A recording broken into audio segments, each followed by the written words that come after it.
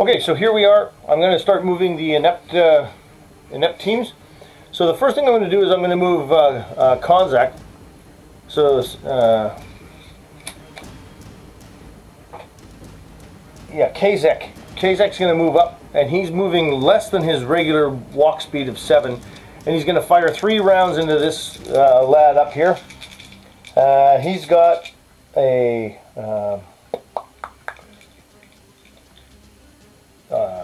2020 assault rifle, so he can fire three rounds. Armored piercing's five, so he does he does get two hits. With the armored piercing of five, it evens it up, and that's two wounds. So this guy takes two wounds, which uh, puts him in, in jeopardy because he's only got three. So Kasich did all, did all right not shooting. The next guy coming through is our auto shotgun fellow. And that'll mean, uh, yeah, auto shotgun, I believe, is uh, David K. Knight. Yeah, I think it's the K. Knight is the uh, auto shotgun. So the auto shotgun is uh, is a nasty piece of kit. It's the it's the 2020 auto shotgun, so you get you get three rolls. Armored piercing is six at effective and four at uh, long range, and it uses a two-inch template. So don't need the two-inch template in this case, but uh, oh, he gets two hits. Uh, oh, uh, no, no, no, yeah, uh, I believe it's two wounds per hit. No, no, no, no, just uh, just one. So he got he did get one wound. Uh, that's enough to kill this guy because that that gives him an accumulated total of three wounds. So this guy's now dead. so another blue skull on the on the greenies. Our next guy will come forward and he's got the saw. So he's our saw operator, 556 This will be uh, lighter, Chris Lights. So Chris Lights with his improved 5.56, he gets five rounds. He's only got an armor piercing of five, but he's got five rounds with it. So he gets uh, four hits, but a one. So that means he's going to run out of ammunition. So I got to put a yellow marker on him because he's going to have to reload. And out of the five hits, he gets a critical and one extra hit. So that's uh, the critical will do two wounds. The other one, the, the single wound finishes him off. So with some great shooting there by lights, even though he, uh, lighter, even though he uh, ran out of ammunition, he took that guy out. so the final member of the inept team is our uh, our sniper, well, our marksman. Uh, Jared Stinger Kindred. And of course, uh, Stinger's got the, the battle rifle. So he's going to move forward, staying behind a little bit of cover from the from the guardrails. It's enough to um, to give him a little bit of cover. These guys on the wharf, uh, they are in open, so they have no cover at all. Even though they move slowly, there's no cover there, so they could be in trouble if uh, if somebody opens fire on them. Okay, I'm moving around the table now because I got to come to the other side. So uh, J Buck is going to move seven inches. So he's coming all the way around to here. And he's going to fire into the bunker. Now he's going to have a tough time with this because the bunker's got full hard cover.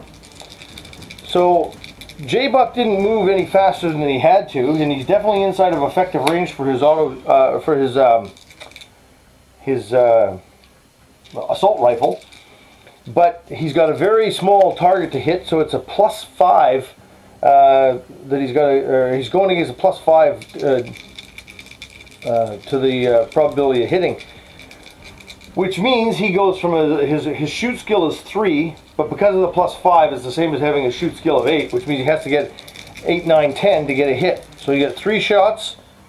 He got a 10, which is a critical, which will half the guy's armor and you got a 7 and a 6. Now, The six is definitely a miss. The seven will be a hit though because he gets plus one or, or plus two uh, to his um, his uh, die roll uh, because of the short range or the effective range because the weapon is so accurate at that range gets plus two.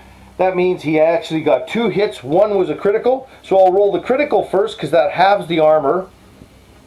And I got a one, so it hit something. So only one wound on this guy. So uh, just to reiterate, anytime you roll a one in uh, inept, it's bad. You either like you'll always miss. Um, most times um, you run out of ammunition. You can't have a catastrophic failure as well. If you're throwing a grenade, you, you, your grenade falls at your feet and blows up. So uh, you know that kind of thing, or it can. You, you have to roll for it and see what the catastrophic failure is. Most times it's out of ammunition. Sometimes it's uh, it's catastrophic where it'll blow up in your face, uh, just to add a little bit of flavor and uh, mayhem to the the whole game. Okay, so that's uh, Buck is done. We're gonna move uh, this guy. Oop, jeez, if we can get him out of there. He's gonna come up here, and that's uh, that's Phillips, and then uh, Phillips is gonna move over here. I won't move Helen yet and he's going to open fire in the same spot. He's got the same same uh, issue as uh, J-Buck had. In this case, he gets an 8 and a 9 though, so he gets two wounds, or two possible wounds, and he gets a 10 and a 2. So the 10 is uh, two wounds. That'll kill this guy. So some good shooting there by uh, Mr. Phillips. Uh, Shadow. Got some good shooting in there. Takes out. That's five mercenaries down now, isn't it? Oh, five, yeah, five. One, two, three, four, five. Yeah, five mercenaries are out of commission. And Helen's going to run up here, and our and Dale, or Puddles, uh, so Sutures and Puddles come up as well. Puddles has the the uh, Striker uh, anti-tank system. So right now, inept is done because we're not using the second team yet. Um, they're only going to come in if there's casualties taken by the first team. Hopefully the first team doesn't uh, take too many casualties. Uh, yeah, so we've moved both our both our, both our subsets. Uh, all eight have moved. We now have uh, only one mercenary left, and he's the auto shotgun guy way back here. And it's now the elite mercenaries' turn. Now the elite mercenaries are mostly out of range and can't fire. However, their sniper is right here, and he's going to try and pick off uh, K-lights. Or sorry, light, uh, lighter I should say. Uh, so he's got a sniper rifle, and it's a uh, 50 caliber. He fires and he gets a one. Woo!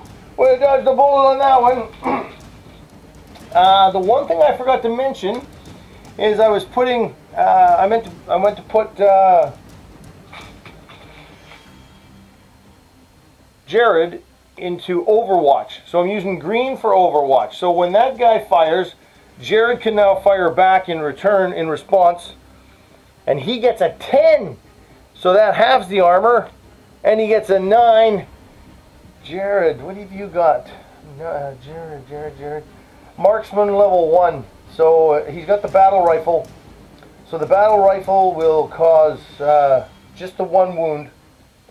Um, so you got one wound on the sniper over here. And the sniper has to reload.